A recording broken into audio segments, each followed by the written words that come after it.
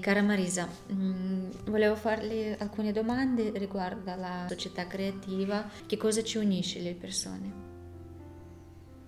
Ma siamo uniti a vari livelli. Eh?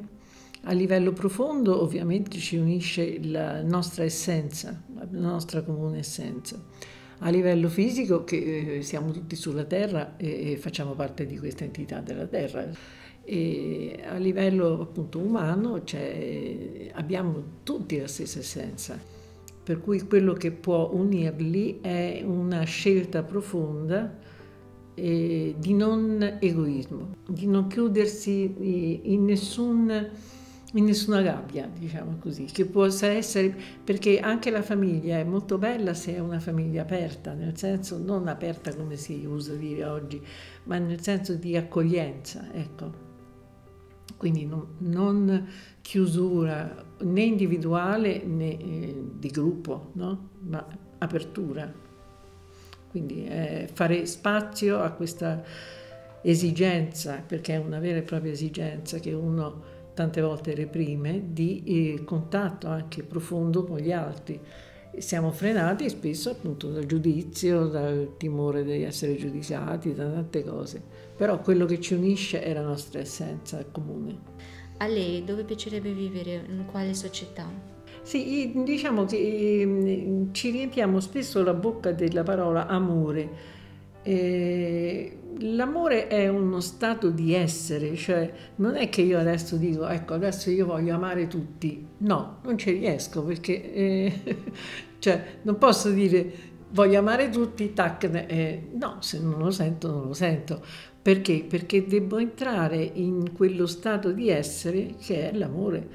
E, e, che cos'è questo stato di essere? Come me ne accorgo? Me ne accorgo perché nel momento in cui sono in quello stato di essere, ho gioia, ho allegria, ho serenità, ho senso di amicizia, no? Quindi non è tanto eh, dare amore, ma essere nell'amore. Poi mm-hmm. l'amore si spande da solo, se io sono nell'amore, l'amore si espande. Ok. E la nostra società vive oggi nel modello consumistico. Eh sì. A lei piacerebbe vivere nel formato creativo della società e, e secondo lei che cos'è la società creativa? È la creativa è dove viene data la possibilità a tutti di essere creativi, quindi di non essere eh, sottoposti alla violenza di, un, eh, di regimi che sfruttano, eh, in cui lo sfruttamento dell'altro è considerato addirittura un punto di arrivo. Cioè nel, la società consumistica premia tutti quelli che riescono ad avere un, quasi un, un regno no? di, di denaro, di potere, di possesso sugli altri. Quindi mi sembra ovvio questo, no? Come dovrebbe vivere una persona in una società creativa? Ma soprattutto penso eh, cercando di lavorare su se stesso in modo da eh, rendersi conto che se c'è un senso di distanza, di allontanamento dall'altro, non dipende dall'altro ma da sé e quindi mh, mm, sospende il giudizio, sospende tante cose che gli permettono di intavolare rapporti molto più sereni con gli altri. E, mm, un'altra domanda, vuoi sostenere l'iniziativa dei volontari del Movimento Internazionale Sociale Alatra che intende di sollevare pubblicamente gli argomenti sull'umanità, sì, sì. la moralità nel vettore creativo e di sviluppo, e in che misura è oggi necessaria questa iniziativa per la società mondiale? È tanto, è, è fondamentale, è fondamentale, cioè è, è l'unica ancora di salvezza che abbiamo, è fondamentale questo perché non c'è, io non conosco nessun movimento che parta veramente da, dall'essere umano, che non sia imposto dall'alto, che nasca veramente da dentro e, e questo è all'Atra, cioè io non ne conosco altri movimenti che abbiano, eh, che si fondino proprio sul, sul volontariato consapevole, perché io lo chiamerei volontariato consapevole. Come dovrebbe essere la maggior parte delle Creativo, invece adesso è, è, str- è strumentalizzante. Mm-hmm.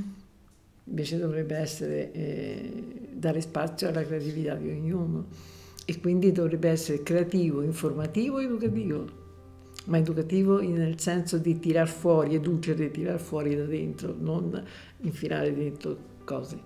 Quali esempi dovrebbero esserci nella diciamo, mass media, nei film, nei, nella musica che ascoltiamo quotidianamente per diciamo, cambiare il modo di... Ma la musica è molto importante perché la musica coinvolge mm-hmm. e, e, molta musica di oggi, eh, che c'è oggi, che eh, produce delle frequenze che mm, non sono positive affatto. Uh-huh. Quindi evidentemente ci, bisognerebbe cominciare a rendersi conto di questo, che non tutta la musica è uguale, cioè sì, mi, mi, fa, eh, mi piace quella cosa lì, di vedere perché ti piace, ti può piacere perché ti eccita, ti può piacere perché ti fa dormire, ti fa dormire perché ti fa dormire, ti, non è la stessa cosa che meditare, quindi bisognerebbe sempre andare un pochino più in profondità. Mm. E invece esempi che dovrebbero esserci in mass media? Ma io credo che gli esempi ce ne sono tanti, basta trovarli. Mm. Il fatto è che noi siamo focalizzati sul negativo, i giornali, i mass media, si parla solo del negativo, ma se noi andiamo ehm, ecco, a, a, esaminare proprio i, i, piccoli fatti, le piccole cose, ecco già, già c'è tantissimo da di, diffondere e da eh, condividere, mm. perché in fondo la gente è buona. Ok, io la ringrazio okay. moltissimo. Prego, e... grazie a voi, grazie a voi. Grazie.